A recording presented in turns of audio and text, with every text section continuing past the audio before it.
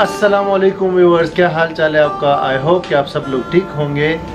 آج میں یہاں پہ پریٹوریا، ساؤتھ افریقہ کے اندر ہوں اور یہ بھائی کے ساتھ میرا سٹے ہے یہاں پہ دو دن سے۔ محمد تمریز بھائی، جو بیسکلی ان کا تعلق ہے جلم پاکستان سے۔ اور یہاں پہ یہ آپ دیکھ سکتے ہیں، ان کی ایک چھوٹی سی جنرل سٹور کی دکان ہے۔ اور چھوٹی تو نہیں کہہ سکتے، کافی بڑی ہے۔ اگر آپ اس کے اندر یہ جہاں پہ ہم بیٹھے ہوئے ایک یہ سیکشن ہے، اس کے پیچھے ایک اور سیکشن ہے، پھر اس سائڈ پہ ایک اور سیکشن ہے۔ اور کافی پروٹیکٹڈ ہے ادھر سے وہ جالیاں وغیرہ بہت زیادہ لگی ہوئی ہے لوہے کی۔ اور اس کے ساتھ ہی ایک گھر بھی ہے، گھر بھی کافی بڑا ہے اور اسی گھر کے ساتھ یہ دکان اٹیچڈ ہے۔ تو محمد تمریز بھائی سے ذرا پوچھتے ہیں کہ یار یہاں ساؤتھ افریقہ کی لائف کیسی ہے؟ یہاں پہ کام کیسا ہے؟ یہاں پہ ایکسپینسز کتنے ہوتے ہیں؟ اور یہاں پہ کتنا بندہ کما سکتا ہے اس طرح کی شاپ سے یا اور بھی چیزوں سے؟ تو محمد تمریز بھائی، بہت شکریہ یار کہ آپ نے ہمیں یہاں پہ اپنے پاس رکھا دو دن۔ یہ تو میری خوش نصیبی ہے کہ آپ میرے پاس آئے۔ آپ کو کافی لوگوں نے انوائٹ کیا، پر آپ نے آپ نے مجھے چنا اور اس میں سے میں اپنے آپ کو خوش نصیب سمجھتا ہوں کہ آپ میرے پاس تشریف لائے اور دو دن میرے لیے میرے ساتھ ادھر قیام کیا۔ تو میں پٹوریا میں رہتا ہوں۔ ایک چھوٹا سا گاؤں ہے، ادھر میری یہ چھوٹی سی دکان ہے۔ تو اس دکان کو تقریباً چھ سات سال ہو گئے میں چلا رہا ہوں۔ تو الحمدللہ اللہ کے شکر سے یہ دکان میں بزنس تقریباً میرا ٹھیک ہی ہے۔ ابھی کافی ساری آگے پیچھے دکانیں بن گئی ہیں، پر اس کے باوجود بھی اللہ تعالیٰ مجھے روزی دے رہا ہے۔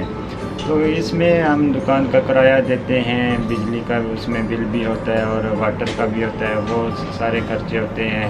پھر ہم سامان لینے جاتے ہیں، ٹاؤن ہمارے نزدیک ہے، اس کے لیے ہمارے کو اتنی دشواری پیش نہیں آتی۔ تو یہ سارا سسٹم چلتا رہتا ہے۔ پر جیسے آپ نے کہا کہ ساؤتھ افریقہ میں بزنس کا کیا رولز ہیں، کس طرح ہوتا ہے؟ تو ادھر تقریباً ہمارے پاکستانی ہو بنگلہ دیش کے بھائی ہوں یا انڈیاز کے بھائی ہوں، وہ سارے بزنس ادھر کرتے ہیں۔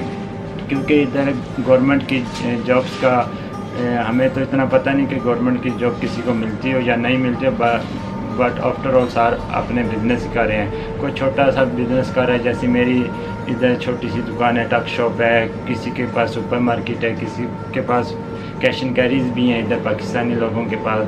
تو سب کے بزنس الحمدللہ ادھر سارے بزنس ہی کرتے ہیں۔ دوسرا جب میں نے دکان شروع کی تھی، تو اس میں پاکستانی تقریباً میں کہہ سکتا ہوں کہ ڈھائی سے تین لاکھ روپے میں میں نے یہ چھوٹا سا کاروبار شروع کیا تھا۔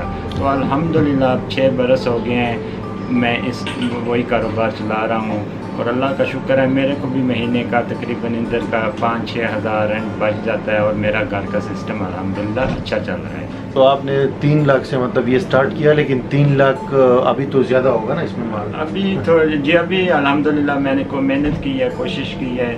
تو ابھی مال اس میں الحمدللہ ٹھیک ہے۔ جتنی محنت کرے گے اس کا اتنا پھل آپ کو ملے گا۔ جی جی جی۔ تو یہ ہے کہ ساؤتھ افریقہ میں یار آج کل مطلب یہاں بھی اگر آپ اس کی بات کرتے ہو نا بزنس اپرچونیٹیز کی، تو اس طرح نہیں ہے جیسے پہلے تھی۔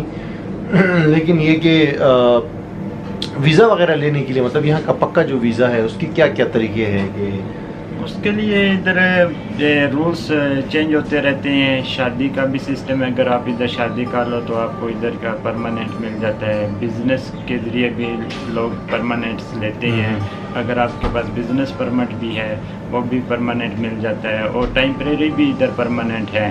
پر بزنس کے لحاظ سے یہ South Africa I think so اچھا ملک ہے۔ ادھر بزنس کرنے کی اجازت آپ کو مل جاتی ہے۔ اسی لیے موسٹلی ہماری جو کنٹریز کے لوگ ہیں، پاکستان، بنگلہ دیش اور انڈیا، جیسے میں نے مینشن کیا، اور بھی دوسری کنٹریوں کے لوگ ادھر رہتے ہیں۔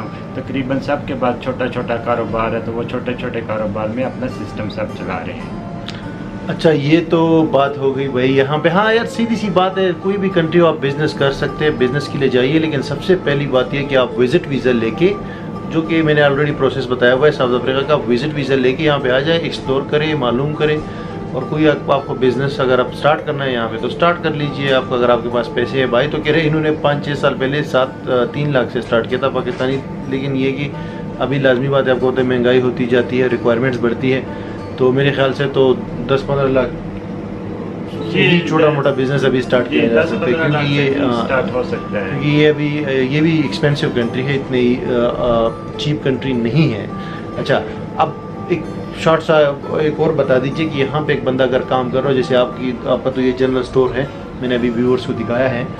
تو اس طرح کا جنرل سٹور جو ہے آپ چلا رہے ہیں یا اس سے بڑا ہوگا یا اس سے بھی بڑا ہوگا اور یا اس سے چھوٹا ہوگا تو مہینے میں کتنے پیسے بندہ کما سکتا ہے یہاں پہ ساؤتھ افریقہ میں؟ نے پہلے مینشن کیا کہ میرے پاس چھوٹا سا سٹور ہے ٹھیک ہے میں اس میں مہینے کا تقریباً پانچ چھ ہزار رینٹ الحمد للہ آسانی یہ۔ پاکستانی کتنے بنتے ہیں؟ یہ تقریباً پاکستانی یہ ڈپینڈ کرتا ہے کرنسی ریٹ پہ۔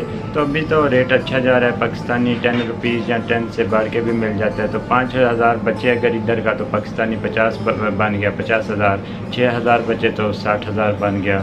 تو یہ چھوٹے سے سٹور سے میں نے یہ اپنا سسٹم چلایا ہوا ہے۔ تو الحمدللہ چھ سال اور اس سے میں- بڑا ہو تو پھر کتنا کما سکتے جتنا بڑا ہو کہ ادھر تو الحمدللہ پاکستانی لوگوں کے بڑے بڑے بزنس ہیں ٹھیک ہے لوگ لاکھوں کے حساب سے بھی کما رہے ہیں۔ اچھا اچھا۔ اب تمریز بھائی فائنل آخری یہ بتائیں کہ یہاں پہ خرچہ کتنا ہوتا ہے؟ اب آپ تو اکیلے ہیں نا آپ اکیلے کا بھی بتا دیں اور ایک بندہ اگر فیملی کے ساتھ ہے اس کا ایک بچہ ہے یا نہیں ہے بچہ اور فیملی ہے تو گھر کا رینٹ کتنا ہوتا ہے؟ گھر لے کتنے کر سکتے ہیں؟ پھر دوسری یوٹیلیٹیز جو بجلی اور گیس اور جو یہ ولی بھائی ڈپینڈ کرتا ہے آپ کتنے لوگ رہ رہے ہیں۔ جیسے میں اکیلا ہوں تو میرا تو سمجھ لو مہینے کا خرچہ بہت کم ہے۔ اچھا۔ اگر زیادہ سے زیادہ میکسیمم ہوگا تو ادھر کا زیادہ سے زیادہ خرچہ میرا چار سو پانچ سو رینٹ کا آ جاتا ہے اکیلے کا۔ تو پھر آپ اگر اکیلے ہو تو چار پانچ سو کو ملٹیپلائی کر لیں، دو آدمی ہیں، تین ہیں، ٹھیک ہے، پھر اس حساب سے وہ آپ کا لیں یعنی کہ اتنا زیادہ خرچہ نہیں ہوتا۔ اسپیشلی جو بزنس کرتے ہیں ادھر گروسری کا میں بزنس کر رہا ہوں۔ تو میرا کھانا پینا بھی اسی سسٹم سے چلا رہتا تو وہ ہمیں محسوس ہی نہیں ہوا۔ آج تک مجھے خرچے کا محسوس نہیں ہوا کیونکہ یہ گروسری کے اندر ہی ہوتا ہے سارا سسٹم ٹھیک ہے؟ کوئی ہم نے بریڈ لینی ہے کولڈ ڈرنک پینی ہے چکن لینا ہے ٹھیک ہے؟ نہیں لیکن دوسرے لوگ تو آپ کی طرح نہیں ہوں گے نا کہ ان کی تو جنرل اسٹور نہیں ہو سکتا۔ مطلب جنرلی کتنا خرچہ آئے گا؟ اگر ایک بندہ ایک گھر کتنے کا کرایہ گھر کا کرایہ کتنا ہوتا ہے؟ ویسے دو کمروں کا چھوٹا سا گھر ہے دو کمروں کا ہو تو ادھر ڈفرینٹ پلیسز میں ڈفرینٹ ریٹس ہوتے ہیں۔ پریٹوریا جو سٹی ہے نا یہ جو ابھی آپ پاکستانی ایریا جو آپ نے منی پاکستان بتایا وہاں پہ کتنے کا جی، ہوگا؟ لوڈیے میں ادھر ملتے ہیں فور تھاؤزینڈ رینٹ کا بھی ملتا ہے اپارٹمنٹ ملتا ہے دو- کمروں کا فائیو کا بھی ملتا ہے سکس کا بھی ملتا ہے ٹھیک ہے وہ ڈفرینٹ ریٹس پہ ملتے ہیں اور باقی خرچہ کتنا ہوتا ہے؟ یہ جو گروسری اور بجلی کی بل وغیرہ ایک مہینے کی ایک بندے کی ایک بندے کا میکسیمم اگر گروسری کا کر لو اور بجلی کا بھی ساتھ کر لو تو میرے خیال ہے زیادہ سے زیادہ آٹھ سو رینٹ یا ہزار سا ہوگا اس سے۔ زیادہ نہیں ہوئے اچھا گا اچھا۔ ٹھیک ہے جی۔ ابھی تمریز بھائی سے ہم نے یہی سیکھا کہ یہاں پہ اگر آپ اکیلے رہتے ہیں تو آپ ہزار روپے میں بھی رینٹ پہ رہ سکتے ہیں ایک کمرے میں یا ایک کمرے سے بھی کم میں۔ اور اگر آپ فیملی ہے یعنی کہ بچہ اور میاں بیوی ہے اور اگر آپ فلیٹ لیتے ہیں یا کوئی گھر رہتے ہیں رینٹ کے اوپر، تو پاکستانی، انہوں نے چار ہزار یہاں کا بتایا جو کہ پاکستانی چالیس ہزار روپے بنتا ہے۔ تو یہ آپ یہاں پہ ایک ایریا ہے، پروٹیریا میں جو پاکستانی اور انڈین وغیرہ جہاں رہتے ہیں تو وہاں پہ چالیس پچاس ہزار میں آپ اپنا گھر لے سکتے ہیں رینٹ کے اوپر ٹھیک ہے؟ اور خرچہ جو ہے ہزار یعنی کہ دس ہزار پاکستانی روپیز جو ہے نا یہ آپ کی بل وغیرہ اور جو گروسری ہے یہ خرچہ ہو ایک جاتا ہے۔ آدمی کے لیے۔ ایک آدمی کے لیے۔ تو اگر آپ فیملی ہے تو پھر ڈبل لگا لو۔ جی ڈبل تو یہ ہے کہ پچاس ساٹھ ہزار روپے منتھلی یا ستر ہزار روپے پاکستانی منتھلی یہ یہاں پہ خرچہ ہوتا جی، ہے۔ اگر جی، آپ جی۔ فیملی کے ساتھ ہو تو۔ جی، جی۔ صحیح ہے؟ اور اکیلے ہو تو اس سے تو بہت کم ہوگا پھر۔ تو آئی ہوپ کہ آپ نے جان لیا ہوگا یہ سارا یہاں پہ کیا سسٹم ہوتا ہے۔ پھر بھی آپ کا کوئی کویشچن ہو تو آپ کامنٹ کے اندر کر سکتے ہیں اور کوئی فائنل میسج یار تمریز بھائی آپ کا کوئی فائنل میسج ہے میرے لیے؟ فائنل میسج یہ ہے کہ یہ کنٹری ماشاءاللہ بہت خوبصورت ہے۔ اگر کوئی ادھر وزٹ کرنے آتا ہے تو وہ بے شک وزٹ کرے ایکسپلور کرے اس کنٹری کو۔ بہت اچھی کنٹری ہے۔ ولی بھائی میرے پاس ہیں۔ الحمدللہ دو دن سے ادھر رہ رہے ہیں۔ جی جی جی بھائی بالکل صحیح کہہ رہے ہیں۔ یہاں سیکورٹی کا تھوڑا ایشو ہے لیکن یہ کہ آپ نے تھوڑا سا احتیاط کرنی ہے اور خوبصورت تو بہت زیادہ ہے۔ تو میرا وہی ونس اگین ہوگا کہ اگر آپ یہاں پہ کچھ بھی کرنا چاہتے ہیں، سب سے پہلے ادھر وزٹ کریں لیگل طریقے سے، قانونی طریقے سے، کبھی بھی ایجنٹوں کے ہاتھوں میں مت جائے ٹھیک ہے؟ اور پھر آپ سے ملتے ہیں۔ بائے